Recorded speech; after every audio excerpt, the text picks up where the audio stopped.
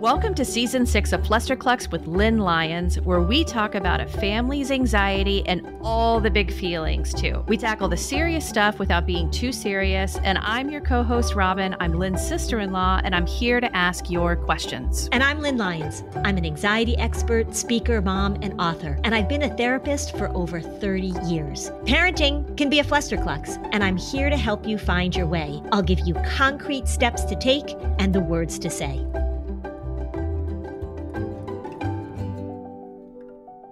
Robin, I'm so excited because another one of, I mean, we have guests on that are just like the best in their field. And also they're my buddies that I love. And so I am so excited because we have my buddy Michelle Weiner Davis on today. Michelle is like such a badass in what she talks about. She doesn't mince words. She talks about divorce. She is the divorce busting person. If you've ever heard of divorce busting, that's Michelle. She was on Oprah. She is a specialist in infidelity. She has a TED talk that has been viewed, I don't know, Michelle, how many millions of times now? Well, I think it's over 9 million at this point. okay, 9 million. Yeah. So we are so excited to have you on. It's so nice to see you too. The people listening can't see you, but I can see you, and it's delightful to see you. And I'm so glad you're here. What else do you want to say about yourself? Well, you know, in terms of our topic today, and Lynn, why don't you tell them what the topic is? Well, one of the things that we really want you to talk about is what happens when parents don't invest in their relationship and they put the kids first what's the impact on marriages and relationships? And that is your bailiwick because you know all about how things go wrong. And then we're also going to talk about how to make sure they don't go wrong. There are a number of reasons I know all about this. The first two are personal, and the third one is uh, professional. So the first one is that my husband and I have been together for 50 years, which is incredible. It's hard to believe. And we have two children who are now adult children. And so we could have a bird's eye view of what the impact that it has on relationships to have kids. And now that my own kids are adults and they have kids of their own, I have a bird's eye view of what happens in their families. In particular, I was just thinking about my son, who he and his wife have a three year old and two nine month old identical twins. Their house is is like a daycare center does take a toll. It certainly takes a toll. But in terms of uh, professionally, I don't, Lynn, even though you and I have known each other for a while, I don't think you know this, that although I'm considered sort of the go-to person when it comes to marriages teetering on the brink of divorce, prior to specializing in work with couples, I worked for nine years at a social service agency doing family therapy. That was my thing, working with kids and their parents and their families. That educated me a whole lot. But truly, truly, the most important lessons I've learned about the impact on marriage of kids is in my uh, nearly four decades of specializing in work with couples who are 911 couples, oftentimes where one person wants in and one person wants out, and trying to help these couples find some solutions and some ways to keep their marriages and families together. And it's so interesting to me that one of the primary patterns that I've seen in couples who are really struggling is this tendency that people have to really focus on the kids at the expense of their own relationship. In fact, in our country, although the divorce, the statistics about divorce that has leveled off, there is only one group of people where divorce is actually on the increase. And it's in this group that's referred to as gray divorce. People who have been married sometimes for 20, 25 years, maybe 30 years. And what they've done over the course of their marriage They've focused on the kids. Oftentimes, one partner has done that more than the other, but they've grown apart. And guess what happens if you do the parenting thing right? Kids leave home and then they look at each other, notice that they are complete strangers. And one, sometimes both partners ask themselves, is this the way that I want to spend the rest of my life? And unfortunately, sometimes people say no. I know firsthand seeing up close and personal what can happen in terms of marriages really being in trouble when kids are the priority. That's so exciting to talk about this today, Michelle. And I have a question for you. You use this phrase 911 couples. So clearly, these are couples in a place of emergency. What are all of the ways in which you provide a service or help to those couples, knowing that they are sort of at the last stage before a breakup? It's a great question, Robin. First of all, the format that I use to work with these couples is really different than what many of your listeners might think about when they think about therapy, your hourly sessions.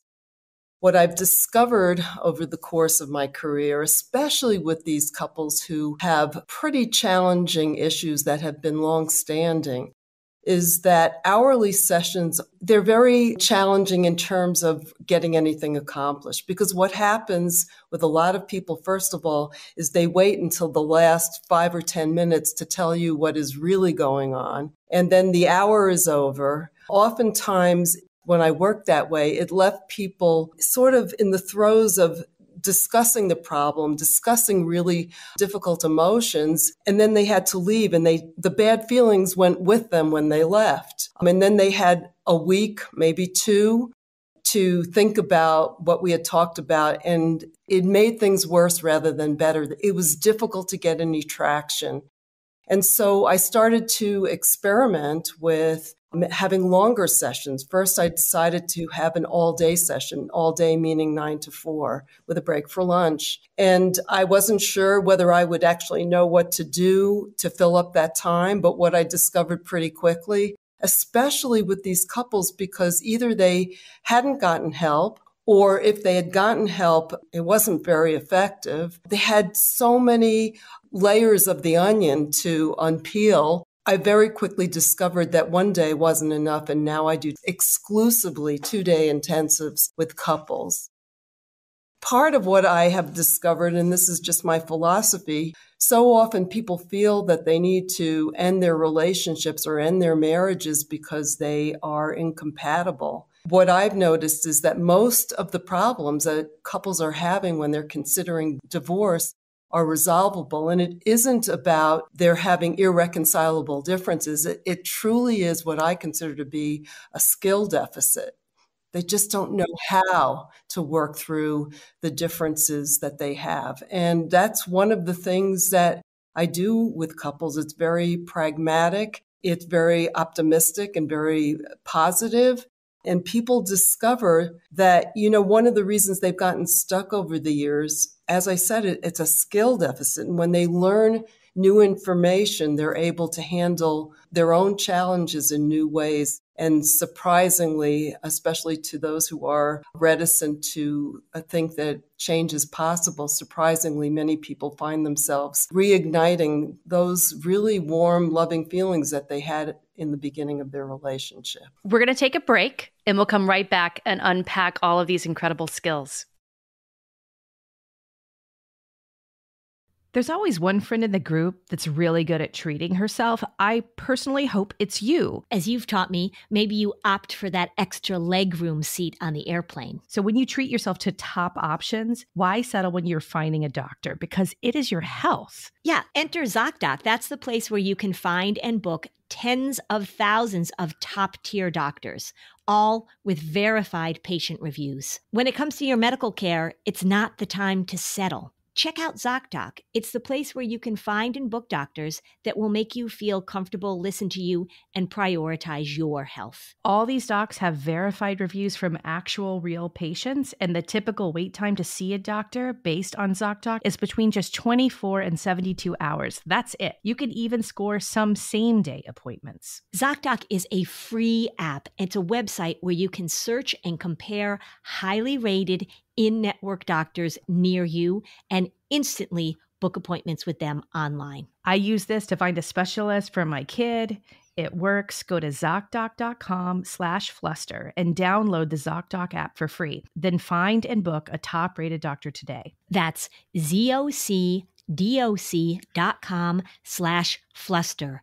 ZocDoc.com slash fluster. This episode is brought to you by Trumeta It's a premium supplement company based out of California that strives to make self care easy. One of their great products is mushroom coffee. It is a must for your morning routine and it tastes delicious. It has no mushroom aftertaste, only the benefits that mushrooms bring. And this organic premium coffee blend has lion's mane mushroom for productivity, reishi mushroom for immune support, cordyceps to boost your energy, and of course, caffeine to give you the kick that you need every day. Yeah, we need that caffeine. So start your 2024 healthier with Trumeta Mushroom Coffee and see for yourself how it helps you to focus so you can get stuff done. You'll feel an uptake in your productivity every time you drink it. Trumeta offers their best deal to Flusterclux fans. You'll get a free electric mixer and 40% off the coffee plus free shipping in the US. So go right now to trumeta.com slash fluster to fuel your productivity and creativity with some delicious mushroom coffee. That's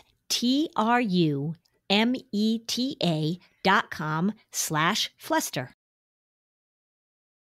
Some New Year's resolutions are destined to fail, like waking up at 5 a.m. every morning and doing a morning jog before you wake the kids. So, lucky for you, I have an easy resolution that we can all make, and it will make your life easier. It'll be kinder to our planet and transform the way you do laundry in 2024. And that is switching to Earth Breeze. I know what you're thinking laundry isn't very fun. Buying a huge, heavy plastic jug and measuring it out just the right amount of detergent while getting goo all over the place it's infuriating. But thankfully, Earth Breeze heard our cries, and now Eco Sheets are here to change the game. Unlike liquid powder or capsule detergent, Earth Breeze looks like a dryer sheet, but it's ultra concentrated laundry detergent. It couldn't be easier. Just throw a sheet in your laundry and watch it dissolve in any wash cycle, hot or cold. I keep a few in a Ziploc bag in my suitcase, so I have laundry detergent whenever I would need it. Earth Breeze fights everyday stains and odors, giving you an amazing clean every time. And there's no measuring, no mess, and best of all, no wasteful plastic plastic jug. I love that Earth Breeze is dermatologically tested, hypoallergenic, and free from bleaches and dyes. So it's perfect for every load I have, from bedding to towels. And the best part is that you'll never run out of detergent again, thanks to Earth Breeze flexible subscription that you can adjust, pause, or cancel at any time with no hidden fees or penalties. And you save a whopping 40% when you subscribe. And shipping's always free. So Eco Sheets are packaged in a slim cardboard envelope that saves a ton of space. Switching to Earth Breeze won't only make laundry day easier for you, but it will also be easier on the planet. Let's make plastic jugs a thing of the past. And if Earth Breeze doesn't end up being the 2024 update of your dreams, you don't even have to return it. Just let them know it's not for you and you'll get a full refund with no questions asked. So right now, Fluster Cluckers, get started with Earth Breeze and save 40%. Go to earthbreeze.com slash flusterclux. That's earthbreeze.com slash flusterclux for 40% off your subscription.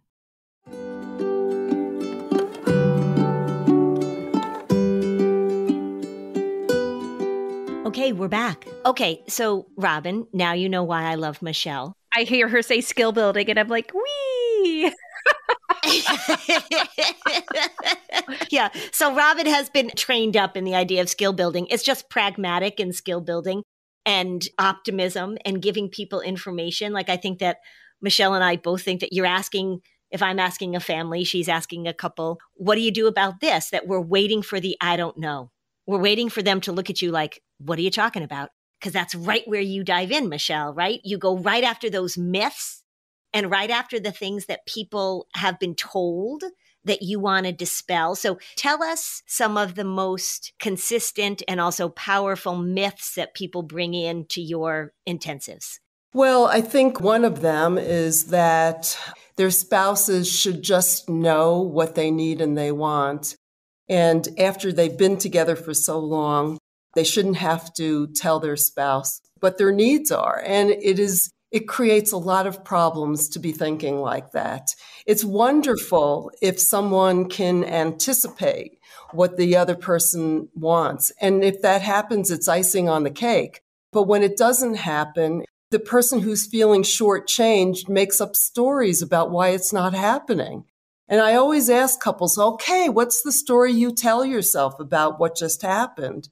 And it's incredible how often the theories we have about our partner's behavior or lack of actions, it's negative. and we believe our own stories. And so I sort of punch holes into this mythical thinking because I truly believe, and call me a psychotic optimist that most of the time people want to get things right.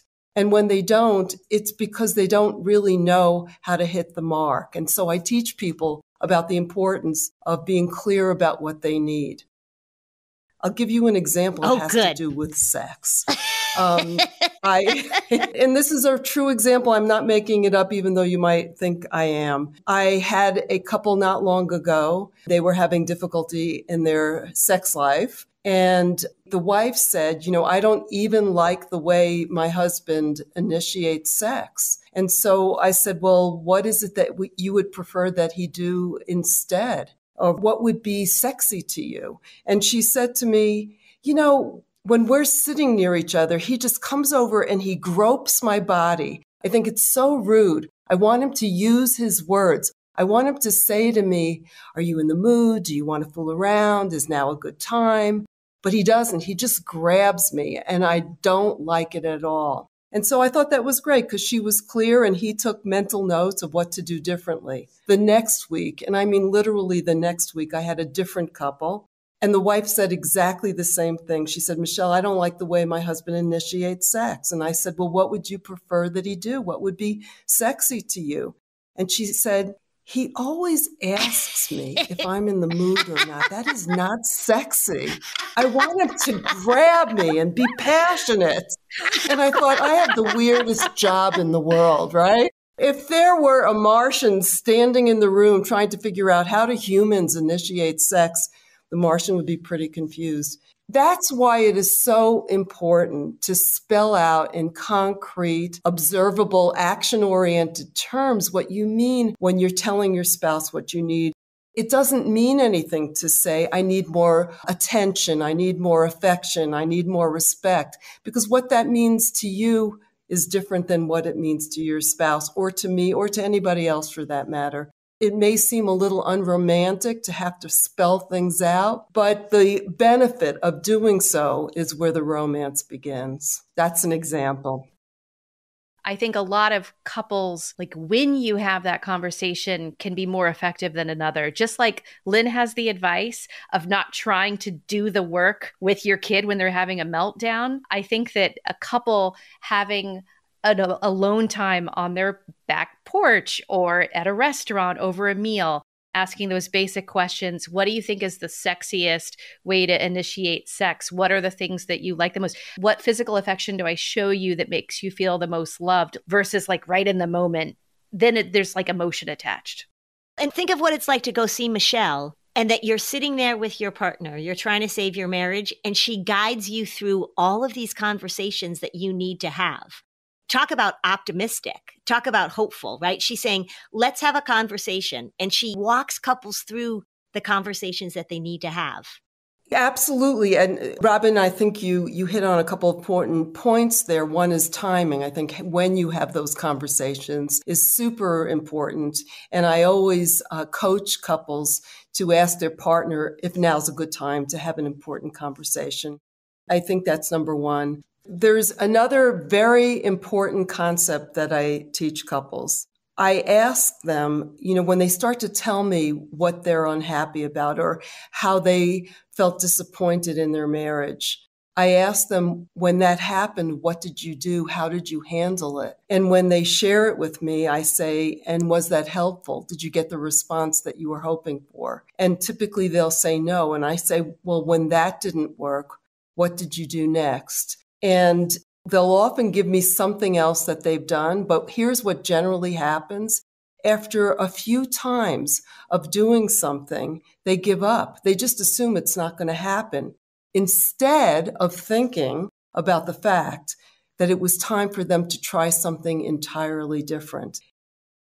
Typically, what people do to solve a problem when it's not working, instead of telling themselves, you know, that didn't work, I have to try something different, what they do is they just do more of what hasn't been working, only they do it a little bit harder, a little bit more emphatically. And you know that there's that saying that insanity has been defined as doing the same old thing and expecting different results. But here's the bad news.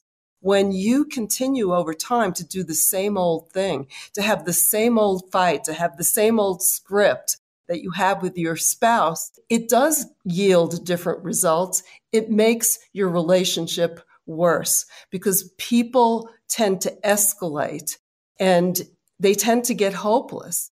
And so one of the novel ideas I teach people who have been unhappy in their marriage is that they haven't really experimented and been more creative in ways to get through to their spouse.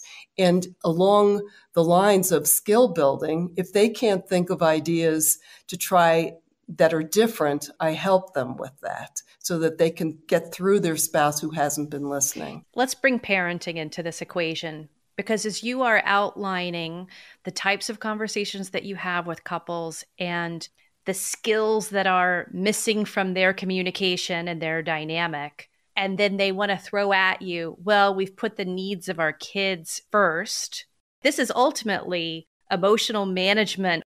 Is it fair to say that someone could really effectively put the needs of their kids and their parenting first and show up in all of these glorious ways, but yet still miss these skills as a couple? Aren't these skills kind of overarching in all of your relationships? Well, what tends to happen, Robin, is that people generally don't say we put the needs of our kids first. It's sort of like they don't even realize that they've been doing it. It's sort of like I've heard that saying about fish not really knowing what water is because they're immersed in it. That's their life.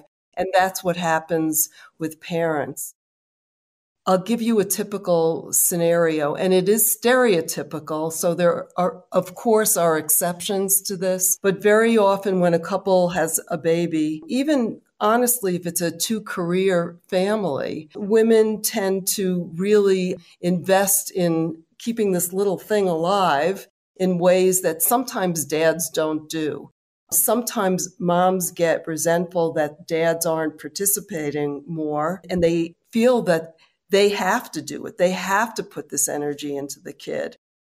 Very often dads feel left out. You know, they had their wives' attention for a very long time and all of a sudden there's this third person on the scene. And when they feel left out of that loop, they often focus on other things, like they invest themselves more in work or playing golf or being away from home.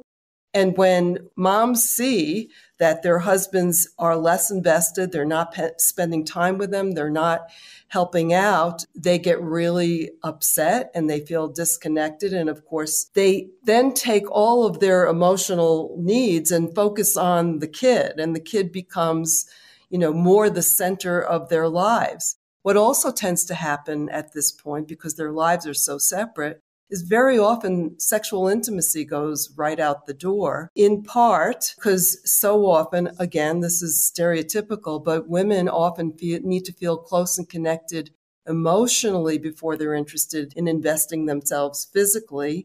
And men, on the other hand, often need to feel close and connected physically before they invest emotionally. And in this case, emotionally might mean being present, you know, with his wife and with his kid and really asking her about her day or being the one to suggest a date night. None of that stuff is happening. And this is arbitrary where I pick the starting point because it's circular in nature. But the more he's out of the home and out of her life and out of, he's not really present, the less she wants to be close to him physically and the less physicality they have in their relationship, the more he disappears. And this happens and then it's it gets even worse as you add children into the family until finally really leading separate lives in a lot of ways. Some people talk about feeling like they're strangers to one another, and each person blames the other for not being there. And sometimes, by the way, that's not the only dynamic. Sometimes both spouses are making the kids the most important variable in their lives. They're making sure that they're in the best schools. They're making sure they have the best after school classes. They're running them all ragged all over the place to their friend's house, to whatever sports that they're in. sometimes when I ask people, when was the last time you had a date night, just the two of you?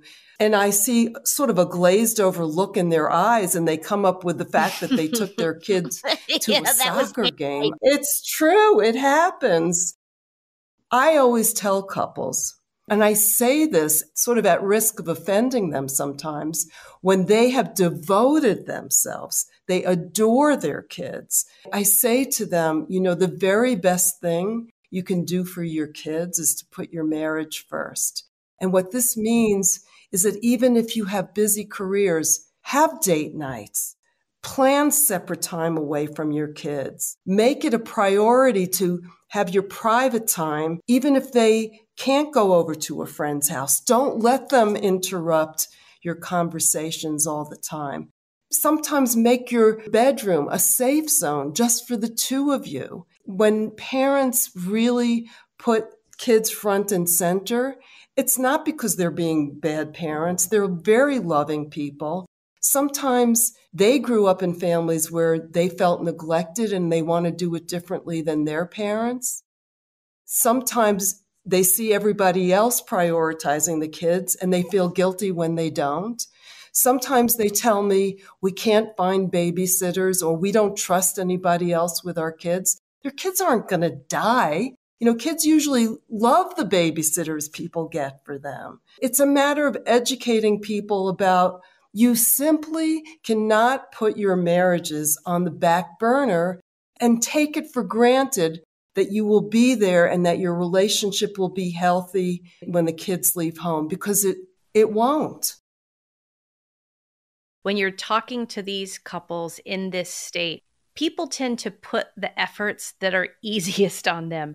It's so easy to not get invested in the home and focus on your work life if things are challenging there, or to focus on the kids and ignore your spouse but you're missing the point of like the really difficult karmic learning of your life is to be married to somebody and to be partnered with somebody where they keep challenging you and you keep challenging them but that's really hard work that people don't even know how to start sometimes right? And, and that's true and it's a separate issue because here's i think a really important point people really need to internalize that having, creating, maintaining a loving relationship isn't just good for you. It's not a selfish act. Kids learn about relationships, not through what you tell them, but through what they see. And if you don't prioritize your relationship, if you're never physically affectionate in front of your kids, if you don't fight and then make up to, to show kids that part of being in a relationship is having conflict, but also resolving it. If you don't show your kids that your favorite person is your spouse, how will they ever learn it? They don't learn it. So it isn't just because you're taking care of your own adult needs to put your marriage first. It's because you want to model for your kids that that is an, an incredibly important thing to do. And the other thing, too, you're modeling for your kids is that they are not always the center of the universe, which is a really important thing for kids to experience. That you have relationships, it could be friendships, it could be your partner, of course. But when kids get the message over and over again that their needs come first all the time, they go into the world believing that their needs come first all the time. And that doesn't make for a good setup for future relationships. Absolutely. And it's unrealistic because not everybody's going to do that for them as right, they get older, right? right? It's a, like a harsh reality out there to learn, you know, that you have to share. I mean, I know some young moms who, anytime their kids are around, they will never be on the phone. You know, they allow their kids to interrupt them all the time everything is focused on the kid first. And I just think it's unrealistic. Michelle, I know so many of our listeners are either personally feeling that this is speaking to them or to other couples that are close to them. So when we come back, let's talk about okay, now what?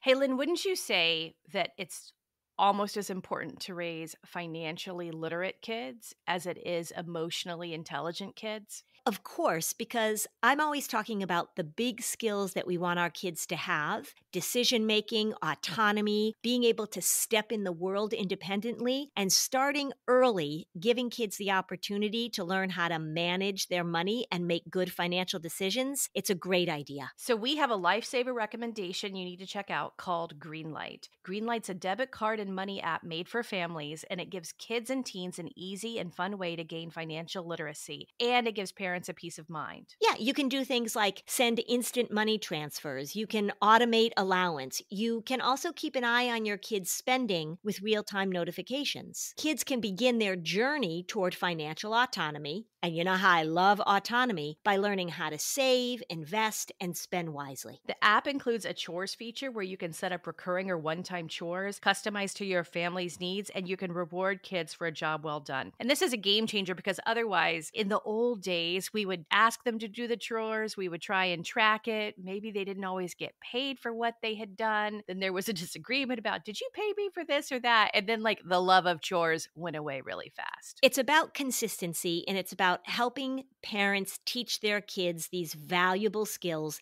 that set them up for success in the future. So, 6 million parents and kids are learning about money on Greenlight. It's the easy, convenient way to get kids on the right financial path. Sign up for Greenlight today and get your first month free when you go to greenlight.com/fluster. That's greenlight.com slash fluster to try Greenlight for free. Greenlight.com slash fluster. Picture that thing that you've always wanted to learn, and now picture learning it from the person who's literally the best at it in the world. That's what you get with Masterclass. This year, learn from the best to become your best with Masterclass. And don't just talk about improving, Masterclass helps you actually do it. Masterclass offers over 180 world class instructors, and you've heard all their names. So, whether you want to master a negotiation with Chris Voss, think like a boss like Martha Stewart, or learn about comedy writing from David Sedaris, Masterclass has you covered. With Masterclass, you get unlimited access to intimate one on one classes with the world's best. I've learned so much from Masterclass, and you will too. There are over 200 classes to pick from, with new classes added every month. There are over 200 classes to pick from with new classes added every month, like learning mindfulness from the one and only Jon Kabat-Zinn. Every new membership comes with a 30 day money back guarantee so there's no risk. And right now, Flusterclux listeners will get an additional 15% off an annual membership at masterclass.com slash fluster. Get 15% off right now at masterclass.com slash fluster. masterclass.com slash fluster.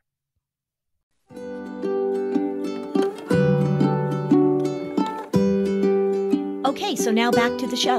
All right, so Michelle, let's talk skills. Let's talk tips. If you've got people who are really looking to spend more time together and to reconnect, perhaps their marriage has felt fine, but not great. Can you give us some really good, solid advice about how to do that? Yes, absolutely. I know that, you know, many of your listeners are familiar with the book, The Five Love Languages. And I love that book and I'll explain why in a minute. But I always think about this in terms of this concept that I developed called real giving. I think people tend to give to one another or show love to one another in the way they like to receive. But that is not real giving. Real giving is when you give to your partner the things your partner really wants and needs, whether you understand it or not, whether you like it or not, whether you agree with it or not, is really irrelevant. You do it because loving relationships, healthy relationships are built on this mutual caretaking. And I often give people an example of in my own life about, you know, when we think about what makes us feel loved, and I think that's getting at what you're asking, Lynn, about doing the things that make each other feel loved and connected. When the way we feel loved has a lot to do, of course, with things that happened over the course of our childhood that, that when we felt loved, when there were certain behaviors and patterns and we felt loved, we connected the dots and to us that became love. And in my world, I was extremely close to my mom. And one of the things my mom always did is she was very tuned into me when I was a kid, when I was an adult. She could sense when something wasn't right. And what she would do as a, as a result is she would ask me about my feelings. She would talk to me about my feelings. And I felt seen and heard and cared for. As an example, if I came home from school as a little kid and not something had happened, she knew it and she'd come up to me and say, Are you okay? Did something happen at school? Did you get into a fight with a friend and so forth? And I took this lesson of love into the early years of my marriage with my husband, Jim, who's a kind of a real estate developer, type A personality, hard driving, Mr. Macho in a lot of ways. And when he would come home from work and I would see something happened in his day that wasn't so positive, I would show love to him in the way it was shown to me, which is to say, I would go and say, Are you okay? Did something happen at work? Did one of your deals fall through? Did the architect screw up? And so on and so forth. And this gift of love that I was giving to him was returned unopened because he didn't look at it as an act of love or a gift at all. He was actually very annoyed at me. And for the life of me, I couldn't understand how he could be so mad when I'm being so kind and so loving. And finally, I figured out because he told me, you know, Michelle, it may work for you when you're upset about something to talk about it, but the very last thing I ever want to do at the end of a bad day is to rehash it. And so I figured out that if I want to give to Jim, my husband, in the way that he likes to receive, is that when I see him hurting or mulling something over, I have to zip it leave the room and give him space, which, by the way, defies every single bone in my body. I consider it an unnatural act. But because we're wired differently, that's what we have to do. We have to really think about what does my partner need, not what do I need. And when I make suggestions to couples, and if either one of them ever says to me, but Michelle, that feels like an unnatural act, I go, cool. because it probably means they're stepping outside their own comfort zone to do what works for the other person. When you do that for Jim, as you learned what he wanted, say he comes home now and you can tell he needs his space do you acknowledge that in any way and say, you know what, I'm going to lovingly give you space right now, and I look forward to seeing you later? Or would that even annoy him and you don't say anything at all? The word lovingly would annoy him. Words at that point are annoying. but you know what, Robin? That's a perfect segue because I think you asked the question, maybe you're more word oriented like me. My husband doesn't need those words. He just needs me to leave and or to not talk to him about what's going on with him. I, he doesn't need an explanation. Well, the other thing I was just thinking of is that because he likes to be left alone, if you just aren't home when he, you know, if you just leave, but you're not telling him you're doing that because you're acknowledging that's what he needs, I mean, you could just like get on a plane and go somewhere and then he'd be like, wow, my wife's the best. so, what's the way of sort of acknowledging you are doing something for him? Or is that like not part of it? You know, it really is me when I sense that he's ruminating about something and his way of self soothing is to be by himself. I just need to, I don't have to get on a plane, but I do need to give him space. And it's understood. But you know, people who are listening, there's some people, for example, when they're upset, they want their spouse to ask, Are you okay? Is there something you want to talk about? And they're probably uh, often married to someone who more like my husband who just wants to be left alone. Where people really get screwed up is if I need you to say to me, Are you okay? Do you want to talk about something? But my partner assumes that you want to be left alone. That's where people get screwed up is when you are projecting what you need onto the other person and not really thinking about their internal workings and what really works for them. And that's really what that whole book, The Five Love Languages, is based on. For, you know, listeners who are not familiar with it, what I love about the book is that Gary Chapman has distilled down to five different ways that people feel loved. I think it's a little bit of an oversimplification, but it's very, very useful. You know, some people feel loved when their partners affirm them verbally. Some people feel loved when their partners are spending quality time with them. Some people feel loved when there's a lot of physical touch, whether it's sex or affectionate touch. Some people feel loved when their partners do what's referred to as acts of service, which means supporting a family, taking care of kids, doing what needs to be done around a house. There are those deeds, those kind deeds of bringing your spouse a cup of coffee or heating the car up so your spouse gets into a nice warm car on a wintry day like today. And finally, material gifts is the last love language. And it is what you might imagine where if you put energy into thinking about what would this person really want and you make it or you buy it and you give it to them it makes their heart soar. And the mistake that people make over and over again if i'm a person who needs words of affirmation i give my spouse words of affirmation. They don't really want compliments. They don't really care about it. And then you don't understand why they're so ungrateful the point of that is when you start to think about maybe we have prioritized our kids too much, maybe we need to focus on our own relationship. Figure out what it takes to make your spouse feel loved, not what it takes to make you feel loved, and begin to do those things. And that works for both people. And the beauty of all of this, by the way, and it usually works this way when you get good at figuring out your spouse's love language and you speak it, there's usually reciprocity. And so it's not just a selfless act showing love, you tend to get it back. And I think that sometimes people make the same mistake with their kids too, right? So your kids have ways of they want you to parent and show love and you do it the way you think that they should. So you've got a kid who really just wants your time and attention, but you buy them stuff or you've got a child that really wants to talk about what's going on, but you're not good at having those conversations, right? So the same thing gets played out in those parent child relationships too. Absolutely.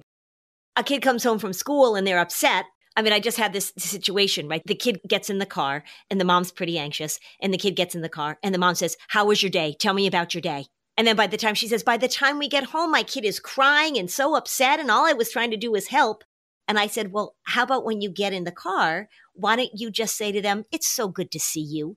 And then be quiet. And when they want to start talking to you about it, they'll start talking to you about it. But it's that misfire, isn't it? Of this feels good to me, so it must feel good to you too. Absolutely. Absolutely. I mean, I really think, and it's not just spouses and it's not just parent and kids. It's coworkers, it's friends, it's extended family people need to make more of an effort to figure out the internal map of those around us as opposed to assuming everybody is like us and behaving in that way. I mean, to me, that's generosity. That's love to really try to put yourself into someone else's shoes, even if you don't understand why they feel that way. I mean, the truth is that example that I gave you about my husband who comes home, looks distraught, and doesn't want to talk about it. I was in my 20s when that started to happen. I thought there was something emotionally wrong with him that he didn't want to talk about what was going on with him. I thought he was like his development had been thwarted or something. and I finally realized no, it's just because we're different and different isn't bad. And really, that's the couples need to understand they can be completely different and they can both be right. And the key is in figuring how do you incorporate your differences. You know, the research shows the people who are in long term happy marriages are no more similar to one another than those who divorce, but there is at least one thing that's different about people who make it over the long haul and are happy. They learn how to deal with their differences. So, Michelle, I'd love to end on a hopeful note. So, obviously, you are very effective working with couples and an all day. And I think Lynn and I would love talking to you all day about this topic. It would be very easy, but things can really turn around. So, for listeners who recognize that they might be in some of these patterns, what is your message of optimism for them? You know, I sometimes people ask, especially when I do training that I've done for couples or training that I've done for other mental health professionals. Michelle, you sound so optimistic, but what are those kinds of situations that would lead you to feel they're not going to make it or they can't make it? And all I can tell you is that there are no particular situations or interactions or problems, or even if problems have lasted a long time, that ever makes me think or say your marriage is dead on arrival. I think that hopelessness is the real cancer in marriage. And if you are feeling stuck, if you reach out to a therapist who tells you that, you know, there's no point in going on because you have irreconcilable differences, then you need to find somebody else because part of my psychotic optimism is that there are solutions to most problems. Clearly, there are some marriages that do end, that need to end, but there are so many unnecessary divorces, I think, and reach out to someone for whom psychotic optimism is part of the way they see the world as well. It's on their business card. Psychotic optimist. It's a communicable disease. Optimism is contagious. That's right. I was thinking of, uh, when I was asking if you said to your husband, Jim, I'm lovingly giving you space right now. I realized that's like the worst thing you could do because it would be the equivalent of the person who's I'm emptying the dishwasher for you right now. yeah, I'm right, taking right. out the trash for you right now, which is I think there's actually some funny Instagram reels on that. You do not want your partner announcing all of their acts of service. I am now engaging in your love language, just so you know. I hope you notice that I am currently loving in your love language. Yeah the thing, Michelle, that is so important, I think, about the work that you do is that it is so pragmatic. And you're basically saying a lot of these people get into these situations because they don't know what else to do. They keep trying to do the same thing over and over again. They keep doing more of what's not working. And I think that one of the key words that you use when you're talking to couples is creativity, that it really is about thinking about something in a different way rather than getting stuck in your own stories those stories that we tell, oh my gosh, right? We get stuck in our own stories. We believe our own stuff. I love the word creativity when we're talking about making your relationship stronger. Absolutely. And I guess one more thing that I want to say sometimes I think people who are listening will think it's been so long since we've had a date night or I don't even know what we would talk about at this point. The deal is if you've been distant, it will feel awkward at first. Push through it. The awkwardness is not a sign that you shouldn't do it. The awkwardness is a sign that you need to keep doing it until you get to the point where it feels natural and fun and you're so glad that you are doing it. Yeah. I'll tell you this one funny story. So I used to rent an office space with this woman who was also a social worker like me. And she was probably in her mid 40s, although like, I don't know how old I thought she was, but looking back on it now, like she was probably in her mid 40s. And I was fairly newly married. I was in my first private practice. She had another office. She was lovely. And I remember this so clearly. She went on a trip with her husband to Europe and she came back and I'd been married for like two years she came back and I said, How was your trip? And she said, Oh, it was amazing. She said, I fell in love with my husband all over again. And I remember thinking, I don't know what the heck she's talking about.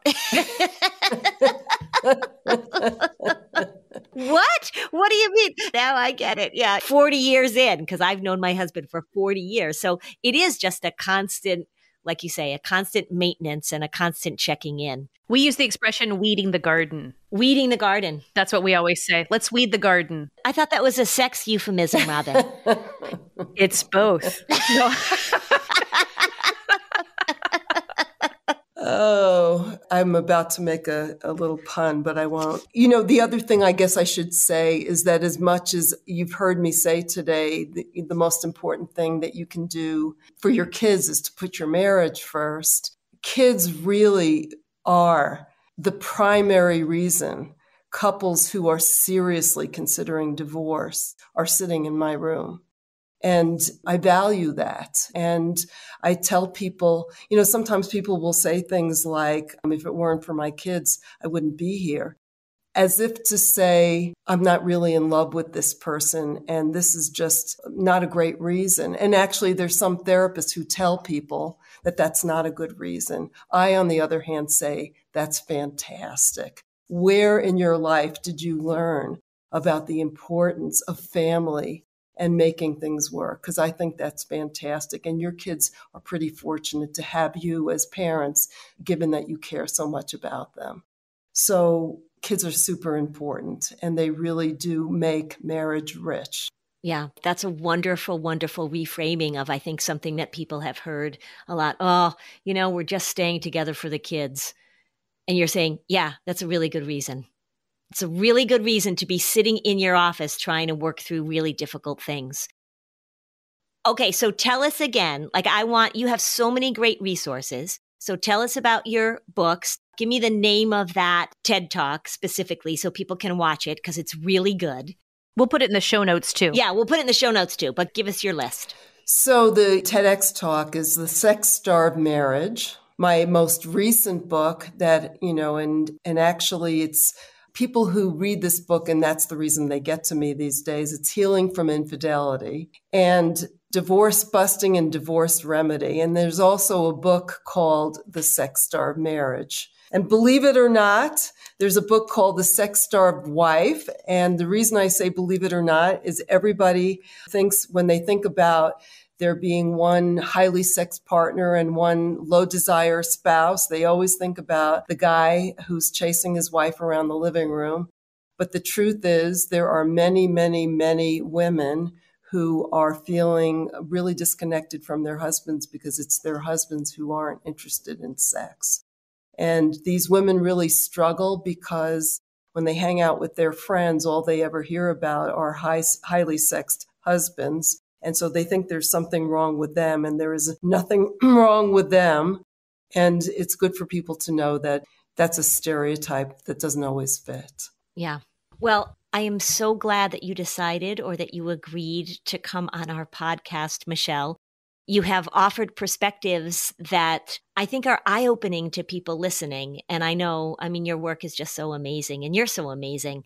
Yeah. Let me just say this Michelle and I are in a field where there are a lot of guys that sort of speak and that kind of stuff. And some of the most affirming and fun and satisfying conversations I've had is when I've been with Michelle and we're just like swapping stories and talking about how to be successful business women and our therapy practices. But she is such an incredible, helpful, wonderful role model to me. And I so appreciate you being in my life. Well, I ditto for you, Lynn, and I think you've heard me tell the story about how I like to listen to workshops at these big conferences that I go to. And one day I'm walking in the mountains and I have my earbuds in and I hear this woman named Lynn Lyons talking about anxiety. And I'm thinking, who is this person? Not only is she smart and she's so good, but I laughed all the way through the mountains. and I said, I've got to find her. And I'm so glad I reached out. And it's a mutual admiration society for sure. Yes, I'm so grateful for you. Thanks for the invitation. And thank you, Robin. You're welcome. Yeah, thank you, Michelle. Thanks for listening. And if you found this podcast helpful, please give us a five star review on Apple Podcasts. It helps other people find this information. And if you'd like to dig deeper on any of these topics, we have specialized playlists on our Spotify profile, and the link is in the show notes. Topics like teens, depression, and OCD. Bye, Lynn. Bye, Robin.